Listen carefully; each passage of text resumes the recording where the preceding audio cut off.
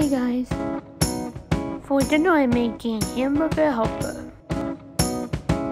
So here is me showing you the instructions.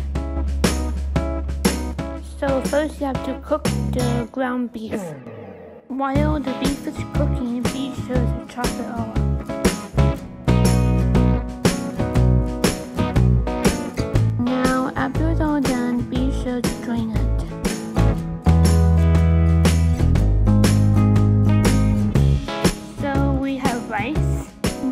Sauce mix, one cup of milk, two and one fourth cup of water, and don't do the toppings mixed yet.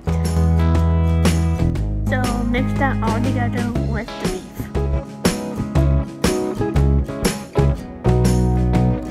So after it's all in there, be sure to stir it all up. Be sure that the stove is on high 9. Boiling, be sure to put it on low.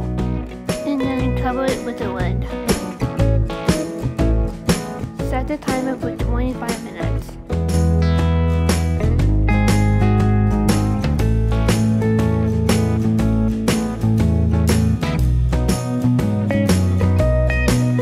Then we have the topping mix. Use 3 tablespoons of milk and mix it into a small bowl.